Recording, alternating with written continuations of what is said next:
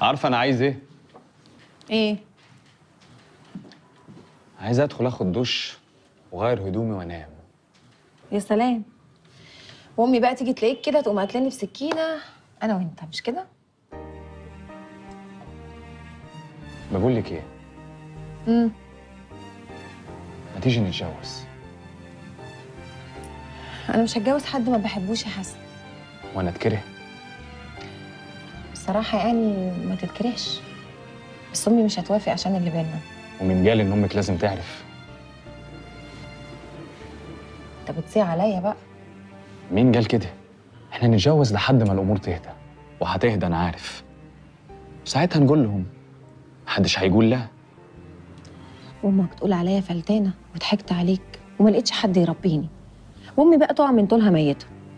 وابقى أنا اللي جبت العار للعيلة مش كده؟ إيه الكلام القديم ده؟ كلام قديم؟ وحياتك انت عند أمك هو ده اللي هيحصل.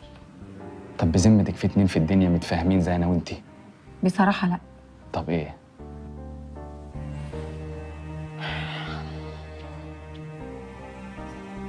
موافقة بس بشرط. اشرطي يبقى رسمي وعند مأذون. ومفيش دخله يا حسن إلا لما يعرفوا وأنا ما عنديش مانع. أنا كل اللي يهمني ان أبقى مطمن إنك معايا. ماشي.